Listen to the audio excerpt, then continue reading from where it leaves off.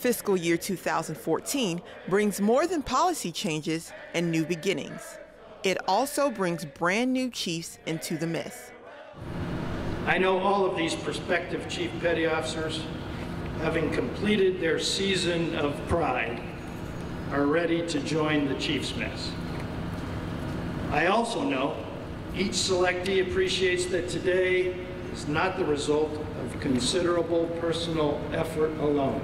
After 365 days of training, these newly promoted chiefs will now don their anchors.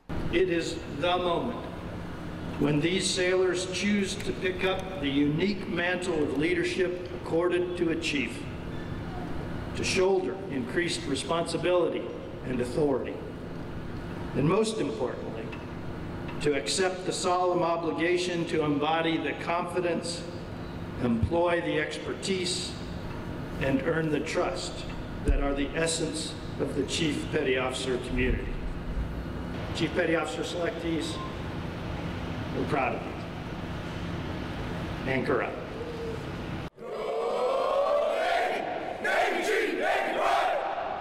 Seaman Mandi Washington, Naples, Italy.